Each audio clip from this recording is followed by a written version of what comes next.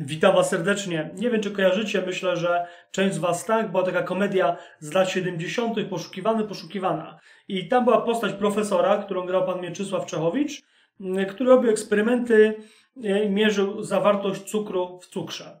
A potem wyszło, że po prostu ordynarnie pędził bimber.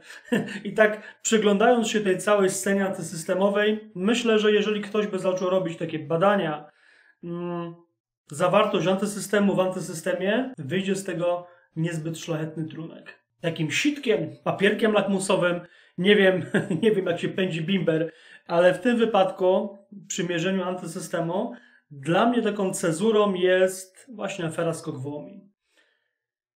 Wcześniej nie zwracałem na to uwagi, bo można powiedzieć, że proceder trwał od 8 lat, a od 2-3 lat mm, no to wszystko, nie, od 2014 roku.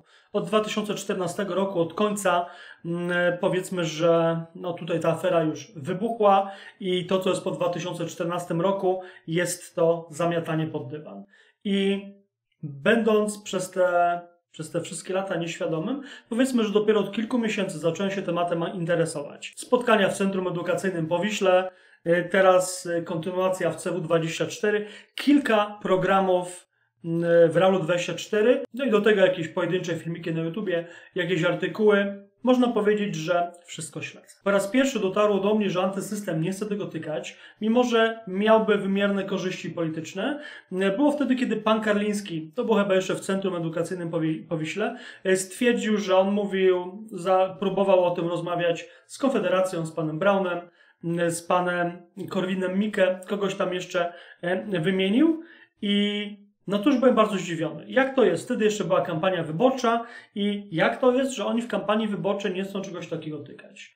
E, no myślę, że od antysystemu możemy wymagać czegoś więcej e, niż od partii, które no już tam po prostu w tym systemie się ładnie umościły albo nawet yy, ich wcześniejsze wcielenia ten system tworzyły. Nigdy nie mówiłem na kogo głosowałem, tak jak mówiłem, żeby nie głosować na mniejsze zło, żeby głosować za głosem serca, to mogę Wam teraz powiedzieć, chociaż nigdy nie chciałem się dzielić z Wami y, moimi wyborami politycznymi, bo to nie o to chodzi, żebym ja coś komuś sugerował albo narzucał. Y, ja nie poszedłem głosować na Konfederację, ja po prostu w ogóle nie poszedłem głosować. I powodem, dlaczego nie poszedłem głosować, y, było właśnie niepodjęcie tematów skoków. Można powiedzieć, że pan Karliński tym, tym żaleniem się, że chodził za politykami Konfederacji i oni go olali, nie chcieli podjąć tematu, yy, spowodował, że przestałem wierzyć w ten cały antysystem. I tak jak na polityka położyłem już kreskę i nie mam na kogo głosować, dla mnie cezurą jest mówienie o aferach SKOK. Y, ten egzamin zdało tylko Centrum Edukacyjne po Wiśle y, i teraz pan Maciak w CW24. Można powiedzieć, że pan Rola zrobił kilka programów, rzeczywiście tam były. E, tylko wiecie, pan Lis też zrobił parę artykułów na ten temat. Der Onet również zrobił na ten temat parę artykułów, a to są teraz kwestie, to są teraz momenty kluczowe. Za kilka miesięcy wszystko będzie w świetle prawa już pozamiatane i będzie koniec. I obawiam się, że prędzej czy później, czego się nie zrobi, to będzie temat pozamiatany, ale tutaj jest o wiele większy potencjał. Bo ile już tych pieniędzy w większości się nie zwróci. Że fakt będzie można tam rzeczywiście e, z półtora miliarda czy ileś wyrwać, to tutaj jest wyjątek. Tutaj, mm, wiadomo, jak jest wał, to są słupy, tak? Ale e, tutaj akurat jest e, to wyjątkowe w skoku, że słupami byli ludzie majętni, ludzie z pierwszych stron gazet, ludzie celebryci, przedsiębiorcy, y, wiele nazwisk, które znamy. I oni tam robili zasupy i to wszystko po prostu wyglądało o tyle tragikomicznie, że po prostu były brane kredyty i nikt nie próbował ich y, spłacać. I tam jest ponad 90% kredytów y, niespłaconych. To jest ewenement na skalę światową, to wszystko dzieje się tu i teraz. I paradoksalnie jesteśmy o krok od ujawnienia tego wszystkiego. Jest lista tych nazwisk. Y, są nieprawidłowości, jakich dopuścili się urzędnicy państwowi, y, tuszując to. Y, to wszystko jest spisane, tylko to wszystko czeka, żeby no, ktoś zaczął o tym mówić. No i teraz właśnie no jest taki problem, że antysystem nie chce na ten temat mówić. Nie będę was czarował. Obejrzałem wczoraj film tutaj z Asmekracji pana Michalkiewicza, gdzie pan Karliński, czyli to jest osoba, yy, która stworzyła stowarzyszenie kilku poszkodowanych osób, bo poszkodowane są tysiące. Pan Karliński i kilka osób z tego stowarzyszenia po prostu nie poddało się, chodzi, no i na ten temat opowiada. Jest takim, takim wyrzutem sumienia. I pan Karliński poszedł na jakiś wykład pana Michalkiewicza i na końcu, kiedy są pytania od publiczności, spytał się, czy pan Michalkiewicz mógłby mówić o tym problemie. E, pan Michalkiewicz no, jest osobą, powiedzmy tutaj po prawej stronie, w tym antysystemie, tak to roboczo nazwijmy, ale potrzebna jest zmiana tej definicji, ponieważ antysystem, antysystemem nie jest coś opozycyjnego do systemu, które się w tym systemie znajduje. To jest cały, cały czas w systemie. Jest jakaś mniejszość tego systemu, która chciałaby wpłynąć na system, ale nie jest antysystem. To jest tak samo jak kiedyś bardzo często były reklamy telewizyjne, gdzie pojawiał się nowy model telewizora i pokazywali na, ekran był na pół podzielony i mówi, jakiś tam lektor czy lektorka, czy jakoś to tam było, o tutaj jest nowa jakość obrazu i w ogóle. E, no i rzeczywiście widzisz różnicę, no ale ty patrzysz, że to jest w twoim telewizorze i jak ty miałbyś, zawsze się zastanawiałem, jak to jest, że ktoś, kto wpadł na pomysł tej reklamy, e, no chyba zdaje sobie sprawę, że ja tą różnicę widzę na moim starym telewizorze. I dlaczego mi pokazuje coś i wmawia, że to jest lepsze, jak ja i tak to mogę zobaczyć przez pryzmat mojego starego telewizora, w którym tą reklamę oglądam. Więc no to jest tego typu antysystem. Jest to 20 minut, kiedy pan Michalkiewicz kluczy. Pan Michalkiewicz na to pytanie odpowiada jakimiś historiami, jak powstawały służby e, w trzeciej RP, jakie są układy, jakie są koterie. E, próbuje to wszystko banalizować. Ue, to tam jak Amber Gold nie wykryli, to tego też nie wykryją i po co o tym mówić? Powiem wam, że ja to dwa razy z rzędu oglądałem. I ja nie wierzyłem, że pan Michalkiewicz, który był obrońcą i tutaj w ustawie e, S447 nam o komunie opowiada i o trzeciej RP i o wszystkim.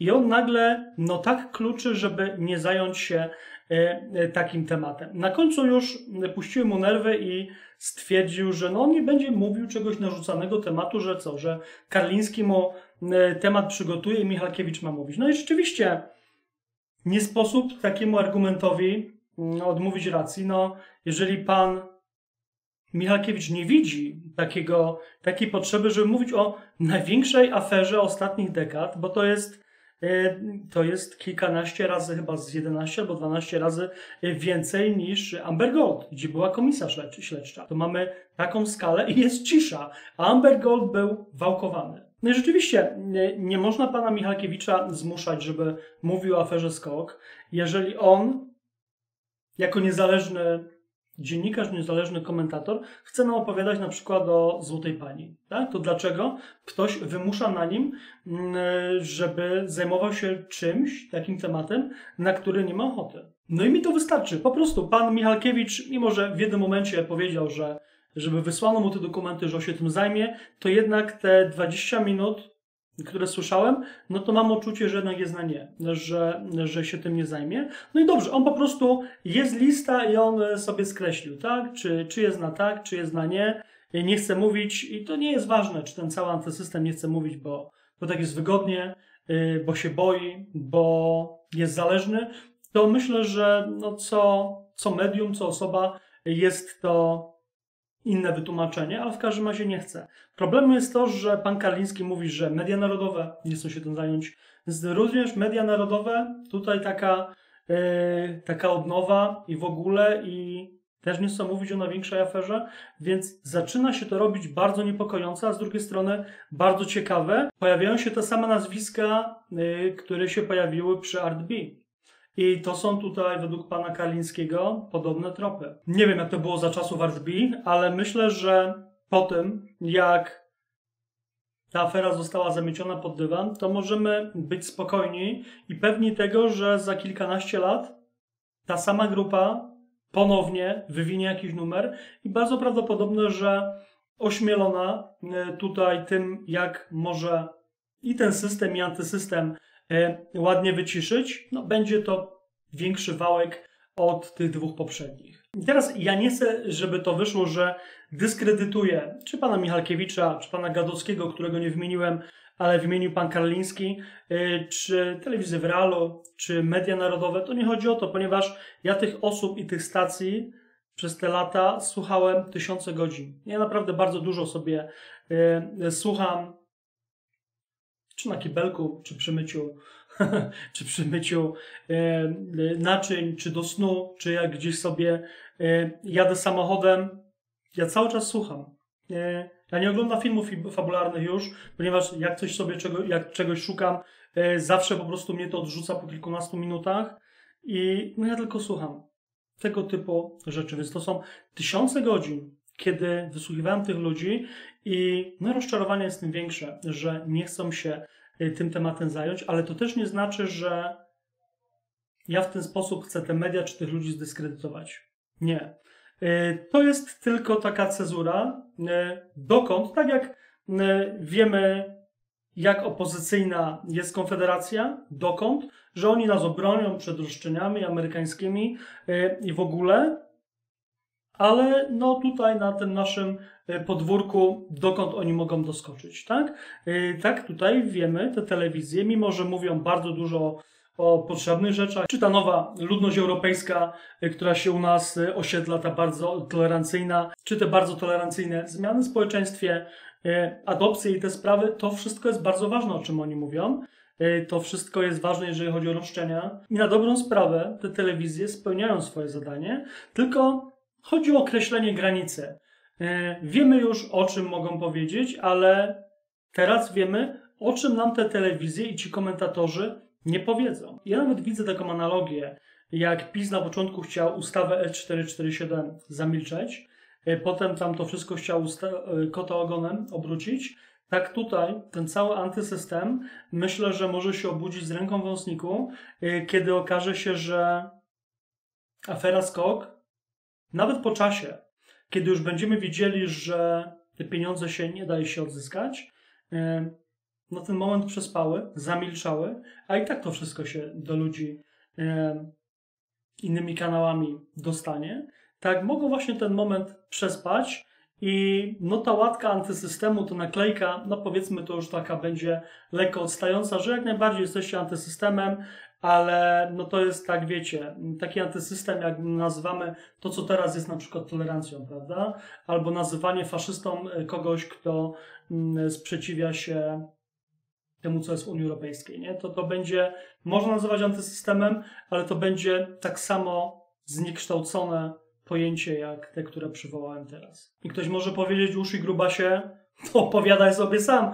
Weź sobie Karlińskiego, nie jesteś w stanie tutaj obok ciebie takie dwa łysole sobie tutaj o tym opowiadajcie. Po pierwsze, najpierw jednak wszyscy liczyliśmy na telewizję.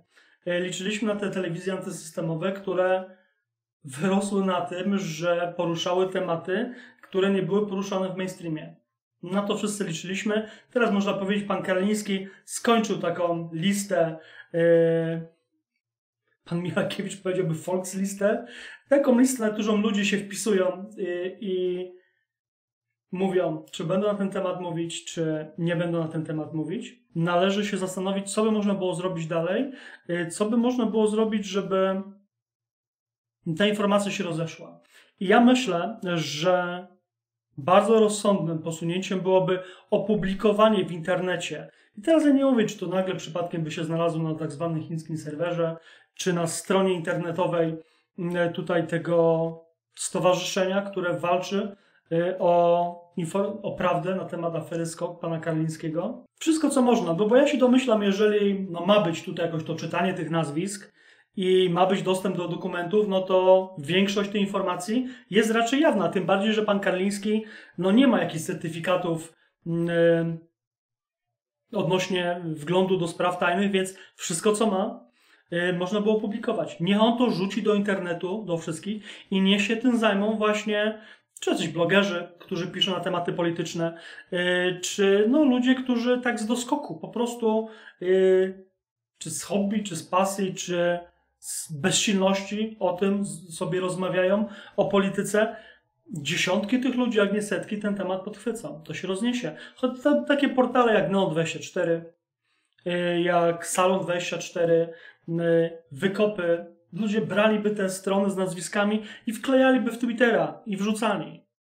I pojawi się jakiś celebryta, który będzie mówił o ekologii, jakichś wolnych sądach, to mu się rzuci, chłopie, ty, ty spłać najpierw e, kredyt w skoku. Więc to musi iść tą drogą. To, co robi pan Karliński w CW24, ja mam nadzieję, że determinacji starczy jeszcze na, na długie miesiące, żeby w każdym detalu o tym opowiedzieć. E, myślę, że też publikacja takiej listy no, wpłynęłaby chyba na bezpieczeństwo. Ja nie wiem, jak oni tam się zabezpieczyli.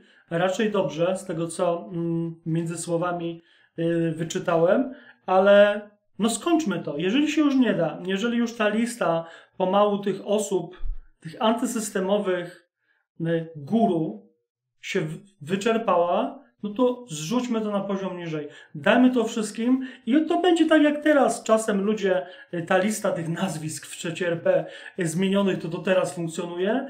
Tak, to też przez lata to się rozniesie, bo ja już nie chcę nikogo martwić, ale my tych pieniędzy już nie zobaczymy. Że to, to, już, to już jest pozamiatane, to już jest 10 lat ponad, 11 rok leci, to są ostatnie miesiące i mimo tutaj tego całego sabotażu pana Karlińskiego w tej sprawie, i napsucia krwi, no to to już jest, to jest domykane, nie? Ale żeby to było na lata, żeby wypominać, żeby tak jak, nie wiem, czy ta myśl mi przypadkiem nie, nie, nie, nie umknęła, tak jak tutaj ta transformacja, trzecie RP, że to jednak była ustawka z komunistami, e, tak, wyjaśnienie tej sprawy i tych wszystkich słupów i do jakich urzędów politycznych dochodziła patologia, gdzie zamyka, przymykano oczy yy, na to wszystko, żeby, no, na nieprawidłowości, żeby tą sprawę tuszować, to będziemy mieli właśnie obraz, no taki trzeci RP po 30 latach. Więc no ja tylko kibicuję panu Karlińskiego, Karlińskiemu i dziękuję panu Maciakowi no, za to, że ten temat yy, drążą. Jeżeli mamy to, co mamy, to ja też bym prosił, żeby w Centrum Edukacyjnym Powiśle mm, znowu ten cykl został wznowiony. No i to jest tyle. Cieszmy się z tego, co jest. No i ta lista. Mm, ja proponuję, żeby przemyśleć ten temat i tą listę po prostu wrzucić y, w necik i to już ludzie się tym zajmą. To już będzie żyło y, własnym życiem i każdy na własną rękę będzie mógł się z tym zapoznać, a potem poszczegóły zawsze się trafi czy tam na te szczątki w RAL 24, czy na Centrum Edukacyjne Powiśle, y, czy na CW24. Z mojej perspektywy jest to jedyne realne i rozsądne mm, to, co można by było teraz zrobić, y, licząc tak, na co można liczyć, a na kogo nie. No i to wszystko. Y, materiał jest długi, więc nie będziemy tutaj jakoś specjalnie rzewnie żegnać. Po prostu życzę Wam miłego dnia, miłego wieczora i pozdrawiam Was serdecznie.